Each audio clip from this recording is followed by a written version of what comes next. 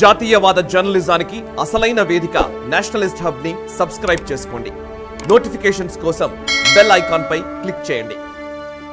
Right sir ఇక ప్రతి సంవత్సరం లాగానే ఇప్పుడు కూడా మళ్ళీ United States commission on international religious freedom ఒక రిపోర్ట్ ఇచ్చింది. ఆ రిపోర్టు ఆ, చెత్తబుట్టలో వేయాలి. బట్ డిస్కషన్ కూడా చేయాలి. ఎందుకంటే ఇట్లాంటివి జరుగుతున్నాయని ప్రజలకు కూడా చెప్పడం అవసరం కాబట్టి. రిలీజియస్ ఫ్రీడమ్ అనేదే ఒక పెద్ద ఫార్స్. నిజానికి మాట్లాడితే దాని మీద చాలా విషయాలు మనం ఇంతకు ముందు కూడా మాట్లాడాము చాలా విషయాలు చెప్పాల్సినవి ఉన్నాయి. బట్ ఈ రిలీజియస్ ఫ్రీడమ్ పేరిట అమెరికా ఆయా దేశాల్ని కంట్రోల్ చేసే ఒక ప్రయత్నం చేస్తుంది. ఆయా దేశాల్లోని గవర్నమెంట్ని లేదా వాళ్ళ రెజిమ్ని ఇబ్బంది పెట్టడము వాళ్ళ మీద ఒత్తిడి తీసుకొచ్చే ఒక ప్రయత్నం చేస్తూ ఉంది. సో వాళ్ళు ఇచ్చిన దాని ప్రకారం particular country of particular concern ఈ టర్మినాలజీ మీద ఒకసారి ఒక సపరేట్ ఒక వీడియోనే చేయాలేమో సార్. స్ట్రక్చర్ నిజానికి ఇప్పుడు ఒక కొన్ని కొన్ని పదాలు వాడతారు. ఆ పదాలతోటి ఎట్లా మనం build చేస్తారు. narrative బిల్డ్ చేయొచ్చు అనేది. సో బైడెన్ అడ్మినిస్ట్రేషన్ భారతదేశాన్ని ఇండియాని కంట్రీ ఆఫ్ పర్టికులర్ కన్సర్న్ జాబితాలో చేర్చాలి అని చెప్తున్నారు. సిపిసి అని చెప్తున్నారు. ఎందుకంటే చాలా భారతదేశంలో మైనారిటీలకు హక్కులు లేవు ఇవి లేవు ఇవి లేవు అందులో చాలా రాశారు. Alarmed by India's increased transnational targeting of religious minorities and those advocating on their behalf ఇది యూసర్ఫ్ యుఎస్సిఐఆర్ఎఫ్ రిపోర్ట్ చెప్తున్నది. ఒకసారి దా రిపోర్ట్లో ఏముంది? దానికి భారత రియాక్షన్ అండ్ ఇవన్నీ ఒకసారి ఎక్స్ప్లెయిన్ చేయండి. యాంటోనీ బ్లింకిన్ ఈ రిపోర్టుకు సంబంధించి అతను ప్రెస్ కాన్ఫరెన్స్లో చెప్పడం భారతదేశంలో ఇవన్నీ జరుగుతున్నాయి మాకు చాలా కన్సర్న్గా ఉంది అని స్టేట్మెంట్ ఇవ్వడం అన్నది అది చాలా డేంజరస్ సిచ్యుయేషన్ ఎందుకంటే ఒక దేశానికి సంబంధించినటువంటి home minister cum foreign minister ఎవరైతే ఉన్నారో సెక్రటరీ ఆఫ్ స్టేట్ అతను స్టేట్మెంట్ ఇస్తున్నాడు. ఏదో సంస్థ ఇచ్చిందంటే మనం దాన్ని కొట్టిపడేయచ్చు. కానీ అంతటి సీనియర్ నేత ఈ స్టేట్మెంట్ ఇవ్వడం అన్నది ఆ, ప్రభుత్వం ఎలా భారతదేశాన్ని చూస్తుందో మనం అర్థం చేసుకోవచ్చు. కంట్రీ ఆఫ్ పర్టికులర్ కన్సర్న్ అన్నటువంటి టర్మినాలజీ ఏ దేశాలకు వాడుతున్నారు అంటే కనుక Afghanistan Cuba North Korea Russia China ఇటువంటి వాళ్ళ జాబితాలో మనం కూడా వేశారు వాళ్ళు. నిజంగా అమెరికాలో రిలీజియస్ ఫ్రీడమ్ ఉన్నదా? ఈరోజు జ్యూస్ వాళ్ళ సెనగాక్స్కి వాళ్ళు వెళ్ళగలుగుతున్నారా? వాళ్ళ స్కూల్కి వెళ్ళగలుగుతున్నారా? ఎన్ని వీడియోస్ వచ్చాయి? వాళ్ళ స్కూళ్ళ మీద దాడులు వాళ్ళ సెనగాగ్స్ వాళ్ళ వీటి మీద దాడులు వాళ్ళు వీధిలో వెళ్తుంటే వాళ్ళ మీద దాడులు ఇటువంటివి ఎన్నో జరిగాయి. కొంతమంది వృద్ధులైనటువంటి జ్యూస్ని చంపేశారు కూడా. మరి రిజి రిలీజియస్ ఫ్రీడమ్ అక్కడ ఉన్నదా? నిజంగా చెప్తే. అలాగే కొన్ని కొన్ని క్రిస్టియన్ ఆర్గనైజేషన్స్ కూడా వాళ్ళు ఓపెన్గా క్రిస్టియానిటీని వాళ్ళు ప్రొపగేట్ చేయలేకుండా చేయలేనటువంటి పరిస్థితి కొన్ని స్టేట్స్లో చేస్తే కనుక అదేదో రిలీజియస్ ఇంటాలరెన్స్ వాళ్ళ ఫ్రీడమ్ని వాళ్ళ హక్కులను వీళ్ళు హరిస్తున్నట్లు లెక్కబెట్టి వీళ్ళని జైల్లో పెడుతున్నారు. కానీ ఇమ్మిగ్రెంట్స్ ఎవరైతే వచ్చారో వేరే మతాల వాళ్ళు ఎవరైతే వచ్చారో ఇస్లాం ముస్లిమ్స్ ఎవరైతే వచ్చారో వాళ్ళని ఏమి చేయకుండా వీళ్ళు చర్యలు తీసుకుంటున్నారు. సో ఓవరాల్గా చూస్తే కనుక ఆ దేశంలోనే రిలీజియస్ ఇంటాలరెన్స్ చాలా చిరస్థా చిరస్థాయికి వెళ్ళిపోయింది అది. కానీ మన మీద వాళ్ళు కామెంట్ చేస్తున్నారు. అలాగే యూకేలో చూద్దాం. యూకేలో ఎటువంటి పరిస్థితి? మనకు ఫ్రాన్స్ జర్మనీ ఇక్కడ ఎటువంటి పరిస్థితి. రిలీజియస్ ఇంటాలరెన్స్ ఎక్కడున్నది? స్వీడన్లో వాళ్ళు ఖురాన్ని తగలబెడుతుంటే అది రిలీజియస్ ఇంటాలరెన్స్ కాదా? మరి స్వీడన్ మీద ఆంక్షలు ఎందుకు వేయలేదు మీరు? ఇది ఒక ఎత్తు. హిపోక్రసీ రెండవ హిపోక్రసీ వీళ్ళు కోట్ చేసింది ట్రాన్స్ నేషనల్ అటాక్స్ అని అంటున్నారు. ఏమైనా ప్రూవ్ అయిందా? ఒక్క విషయం ఏమైనా ప్రూవ్ అయిందా? నిజ్జర్ uh, విషయంలో ఏమైనా ప్రూవ్ అయిందా మనకి? ఇంతవరకు అవ్వలేదు. అలాగే మనకు పన్నూన్ విషయంలో ఏమైనా uh, ఏదైనా కోర్టు చెప్పిందా? భారతదేశం దీన్ని చేసిన ఎవరు చెప్పారో చెప్పలేదు. ఎక్కడ ఎవిడెన్స్ లేకుండా వీళ్ళు ఆల్రెడీ మన మీద జడ్జ్మెంట్ పాస్ చేసేసారు. యుఎన్సిఐఆర్ఎఫ్ జడ్జ్మెంట్ ఇచ్చేశారు వేరే వేరే దేశాల్లో వెళ్ళి భారత హిందువులకు వ్యతిరేకంగా ఉన్న శక్తులని వీళ్ళు చంపుతున్నారు అని జడ్జిమెంట్ ఇచ్చేశారు జడ్జిమెంట్ ఇచ్చేసారా? నువ్వు ఎవరు ఇవ్వడానికి జడ్జిమెంట్ అవును. ఇంకా ఇన్వెస్టిగేషన్స్ నడుస్తున్నాయి కదా. మీ ప్రభుత్వమే చెప్పలేదు ఇంకా. ఉండొచ్చేమో అన్నారు వాళ్ళు. క్రెడిబుల్ రూమర్స్ అన్నాడు. క్రెడిబుల్ రూమర్స్ కరెక్ట్ సో అది రూమర్స్ అంటే రూమర్సే అది. ఎవిడెన్స్ కాదు కదా. అటువంటి పరిస్థితుల్లో ఎలా ఈ యుఎన్ సిఐఆర్ఎఫ్ నిజంగా చేశారని ఎలా చెప్తున్నారు? పైపెచ్చు. మనకు నూ మేవాత్ ఆ ప్రాంతంలో జరిగినటువంటి రైట్స్ ఉన్నాయి. దాని గురించి ఎందుకు నోరు మెదపలేదు? బెంగాల్. బెంగాల్. బెంగాల్ ఎందుకు నోరు మెదపలేదు?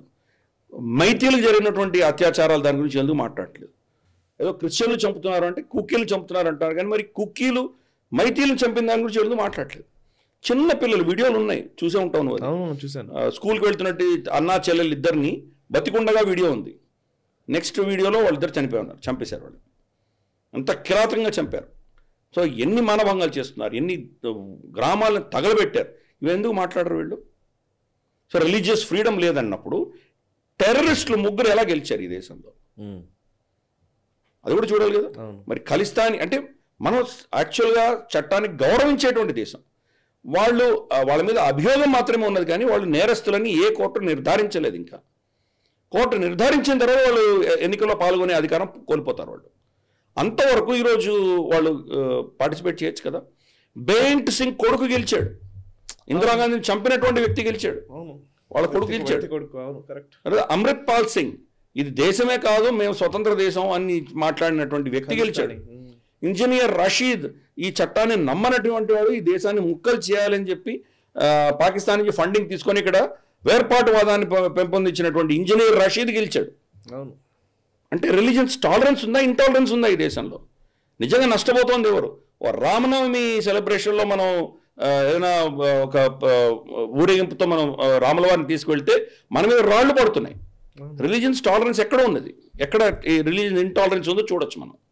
అలాగే మనం ఇంకేదైనా హనుమంతుల వారి హనుమత్ జయంతి సెలబ్రేషన్ చేస్తే మన మీద రాళ్ళు పడతాయి.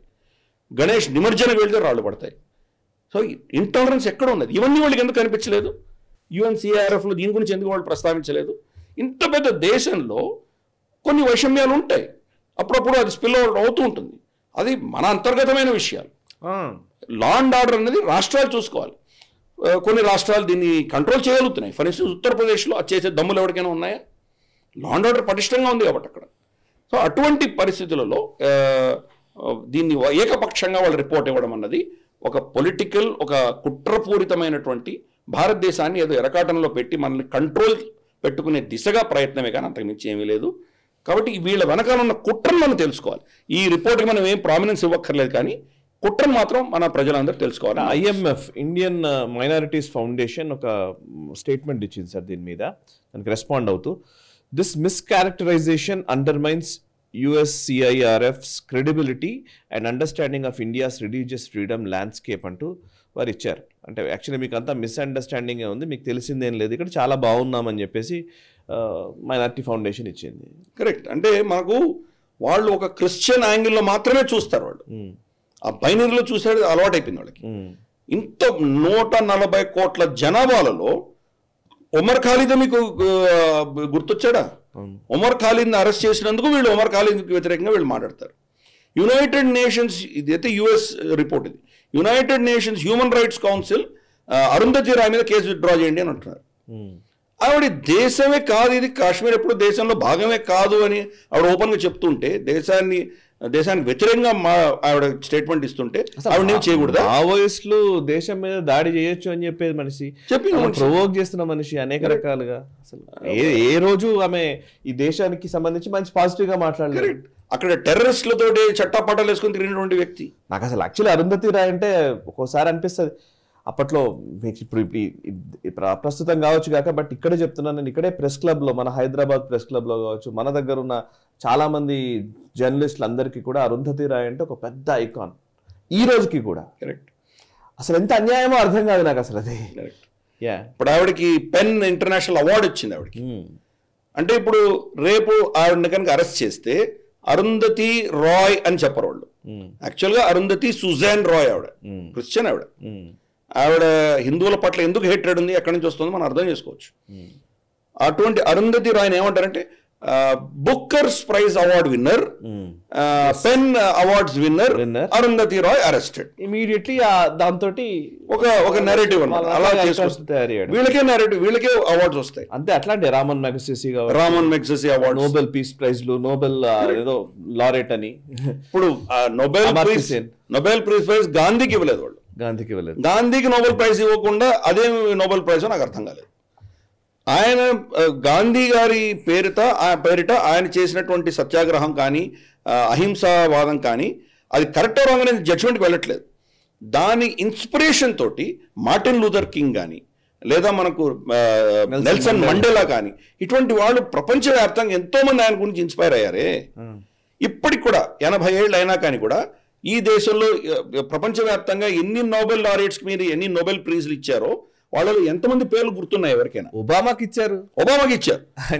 ఊచకోత కోసిన ఒబామాకి ఇచ్చారు. కానీ ఎంతమంది పేర్లు ఈ నోబెల్ పీస్ ప్రైజ్ పేర్లు మనకు గుర్తుంటాయి? వాళ్ళ పేర్లకు గాంధీ గారి పేరుకి ఎంతో వ్యత్యాసం ఉన్నది. ప్రపంచవ్యాప్తంగా ఎక్కడ వెళ్ళినా గాంధీ గారు అని అంటారు వాళ్ళు. సరే ఆయన చేసిన తప్పిదాలు ఆ నేను ఆ చర్చకు వెళ్ళట్లేదు. నేనేమంటానంటే ఈ ఇన్స్టిట్యూషన్స్ అన్నీ కూడా సెలెక్టివ్గా వాళ్ళ నెరేటివ్ని ముందుకు తీసుకువెళ్ళడానికే చేస్తాయి అవి. వాళ్ళ ఫర్ ఇన్స్టెన్స్ మదర్ తెరేసాకి ఇచ్చారు. రామకృష్ణ మట్టికి ఎందుకు ఇవ్వలేదు వాడు? మదర్ తెరేసా చేసినటువంటి సోషల్ సర్వీస్ కంటే రామకృష్ణ మట్టి వెయ్యి రెట్లు ఎక్కువ చేసింది. సేవా భారతి ఆర్ఎస్ఎస్ సంబంధించి ఎంత అద్భుతమైనటువంటి కార్యక్రమాలు చేశారు. దానికి ఎందుకు ఇవ్వలేదు? అలాగే మనకు ఇష్కాన్ ఇస్కాన్ వాళ్ళింత చేశారు.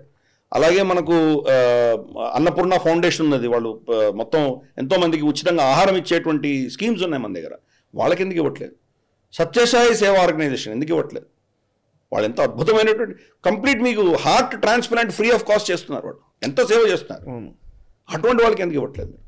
కాబట్టి ఇది ఒక మా ఇంట్రెస్ట్లకు సెలెక్టివ్ అంటే క్రిస్టియన్ అజెండాను ముందుకు తీసుకువెళ్ళడానికి ఎవరు తోడ్పడతారో వాళ్ళకి మాత్రమే లోబల్ లారియట్ ఇస్తారు.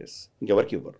ఎస్ ఈ వీడియో మీకు నచ్చినట్టయితే లైక్ చేయండి పది మందికి షేర్ చేయండి అలాగే కామెంట్ల రూపంలో మీ అభిప్రాయాలను మాతో పంచుకోండి. నేషనలిస్ట్ హబ్ గ్రూప్ ఆఫ్ ఛానల్స్ను సబ్స్క్రైబ్ చేసుకుని తెలుగునాట జాతీయవాద జర్నలిజాన్ని ప్రోత్సహించండి. ఈ వీడియో కింద ఉన్న బెల్ ఐకాన్ పై క్లిక్ చేయడం మర్చిపోవద్దు.